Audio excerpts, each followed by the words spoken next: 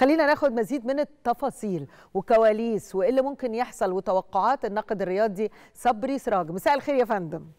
مساء الخير يا أستاذة شكري. ازي حضرتك مساء الخير على حضرتك. توقعات إيه؟ يعني كأس العالم السنة دي غريب. يعني محدش عارف إيه اللي بيحصل. إيه آخر المفاجآت؟ يعني خروج ألمانيا من شوية ده خروج يعني أعتقد إنه هتبقى ليلة حزينة في ألمانيا وليلة سعيدة في اليابان وفي أسبانيا و... ادينا كده حصاد سريعه لمباريات الدور الأول. هو طبعا اللي بيحصل في كأس العالم من بدايته جنون يعني ما فيش وصف أكتر من كده. البطولة بتقدم أفضل نسخة ليها في آخر آخر آخر نسخة يبقى فيها 32 منتخب بتقدم الحقيقة أفضل أداء ممكن الواحد يشوفه في حياته في في كأس العالم.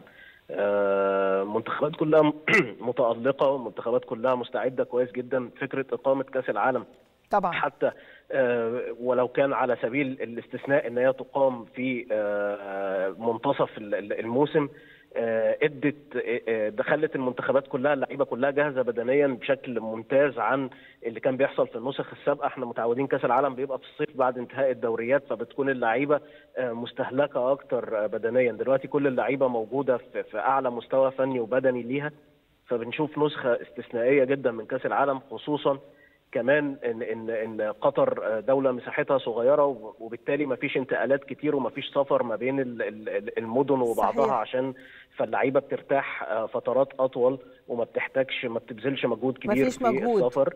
صحيح. بالظبط. كل ده يعني من الحاجات اللي أثرت جدا إن إحنا نشوف مردود قوي جدا ونسخة استثنائية الحقيقة في كل شيء من كأس العالم.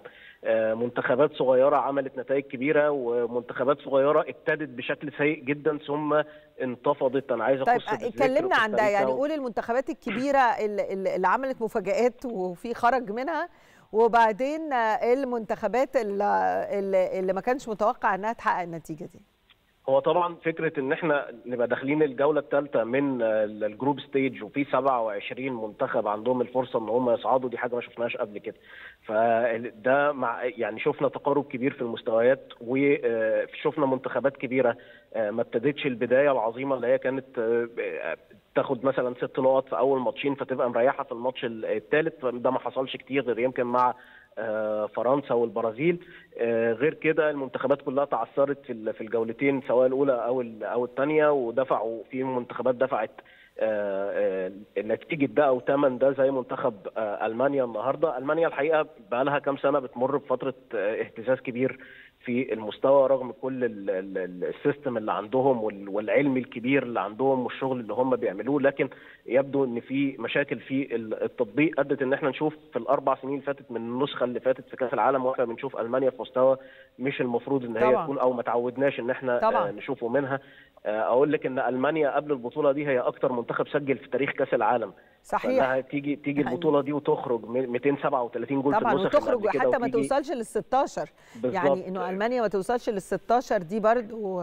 مفاجأة كبيرة لكن أنا مش عايز أقول إن هي متوقعة لكن منطقية. منطقية قياسا باللي بيحصل مع ألمانيا أو بيحصل في منتخب ألمانيا خلال السنوات القليلة الماضية يعني لكن أكيد. تظل برضه مفاجأة كبيرة إن بطل كبير زي ألمانيا يخرج من كأس العالم من الدور الأول في مجموعة تضم هو وإسبانيا ومنتخبين ما لهمش تاريخ كبير في البطولة زي كوستاريكا واليابان ويحرجوا ويخسروا من اليابان اللي هو اللي هي المصنف الثالث في المجموعة وكانوا قاب قوسين أو أدنى في وقت ما من المباراه إن هم يتعادلوا أكيد. أو يخسروا قدام كوستاريكا أنا بس عايزة قبل قبل ما يعني. تسيبني تقول لي مثلا توقعاتك لدور الثمانيه مين اللي هيروح الدور الثمانيه ما إحنا يعني أظن يعني توقعات من اللي هيدخلوا ال 16 ويلعبوا؟ توقعات يعني بقى يعني هقول لحضرتك أنا أصلا مش من الناس اللي بتحب تتوقع قوي خصوصا كمان إحنا بنتكلم عن نسخة مجنونة بكل المقاييس. ف... صحيح. ف... ف... يعني أي كلام ممكن يتقال عن توقعات هو هيبقى يعني ضرب من الهواء والخيال. إحنا كلنا و... طب مين الحصان الأسود يعني حتى الحصان الأسود في كأس العالم السنة دي مش معروف. يعني أنا ممكن أرشح لك المغرب جدا. المغرب. المغرب المغرب منتخب قوي جدا والحقيقة كانت من بداية البطولة هو كان في أصعب مجموعة كنا بنسميها مجموعة الموت قبل البطولة يعني. معاه بلجيكا المصنف الثاني في على العالم ومعاه كرواتيا اللي هي ثاني كأس العالم اللي فات. فالمغرب الحقيقة نظريا على الورق كانت فرصته ضعيفة في الصعود قدم مستوى كبير جدا وعمل مفاجأة كبيرة بأن هو يصعد أول مجموعة منتخب يمتلك قدرات كبيرة جدا على مستوى اللاعبين كأفراد حقيقي. وخبراتهم في الدوريات لا ومهارة و fitness لحد آخر طبعاً. دقيقة طبعاً. طب كلمني طبعاً. برضو عن الاحتراف. ال- عن المنتخبات الإفريقية يعني السنغال برضو و- و- وغانا و... السنغال طبعا مشروع ممتد أصلا من من سبع أو ثمان سنين مع اليو سي سي آه، مشروع من ساعة ما نكد علينا هو ممتد. آه. عم- أيوة. عملوا عملوا منتخب كبير جدا واستنوا عليه وصبروا عليه سنين بيتبني. فاللي بيحصل مع السنغال الحقيقة أنا مش شايف إن هو مفاجئ خالص. آه، إحنا كان حظنا سيء جدا أو مش حظنا هو بعض الاختيارات الخاطئة والتقدير الإداري الخاطئ من من المسؤولين عن الكورة في مصر سواء المدير الفني السابق لمنتخب مصر أو الأسبق لمنتخب مصر أو اتحاد الكورة بإن إحنا ما نلعبش ماتشات ودية تحسن من تصنيفنا.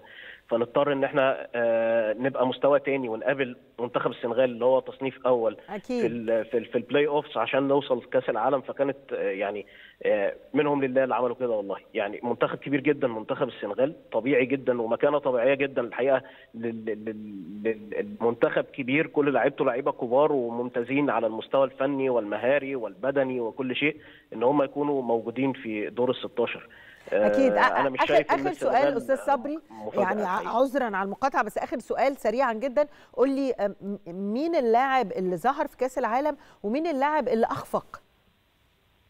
أنا بشوف آه، يعني في لعيبة آه، كويسة لكن قدمت نسخة ممتازة منها ولعيبة potential جدا زي محمد قدوس لاعب غانا. آه، ده من اللعيبة ال- ال- الممتازة جدا الصغيرة في السن هو بيلعب في اياكس أمستردام ودلوقتي في كلام ان برشلونة بيفكر آه، في لعيب آه، سجل في ال- في المباراتين السابقتين هدفين بيقدم مستوى كبير. في لعيب أعاد اكتشاف نفسه زي موراتا مهاجم إسبانيا اللي هو كان قبل البطولة أصلا. في ناس بتتكلم ليه موراتا أصلا يروح المنتخب وما بدأش بشكل أساسي في أول مباراة لكن آه، عمل رقم تاريخي سجل في ثلاث مباريات متتالية في دور المجموعات ودي ما فيش لاعب إسباني تاني عملها قبله.